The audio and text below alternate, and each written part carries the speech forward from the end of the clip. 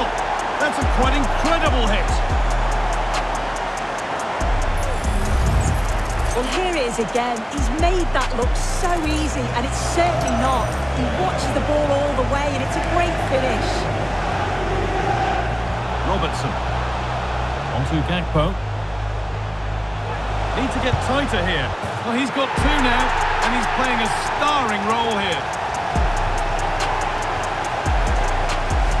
Here's the replay, and when you go through on goal, it's quite easy to blast it.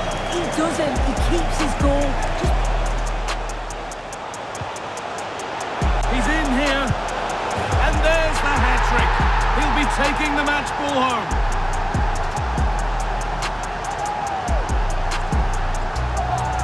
Well, here's the replay, and it's a great through ball. Just means the striker doesn't have to alter his running stride. And as soon as he's through 1v1 with the goalkeeper, he just goes for power and smashes it in the net. It's a quality finish.